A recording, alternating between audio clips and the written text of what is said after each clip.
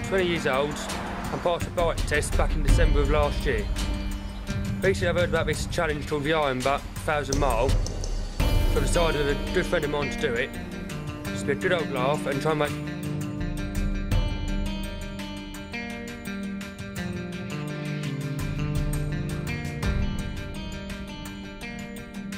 mile in 24 hours, I thought, you got me mad to want to do something like that. Then the more I started thinking about it, the more I thought, you know what, I want to do this challenge.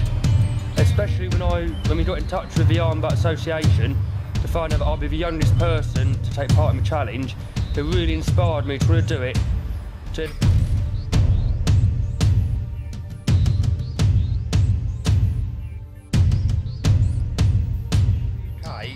is a charity which helps young, young adults from 16 upwards to find affordable transport.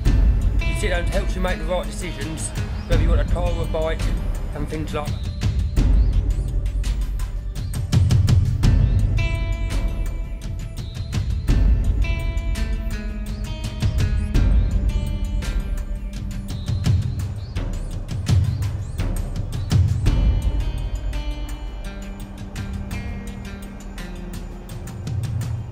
We're trying to raise £5,000 to help fund our new project, Kickstarter.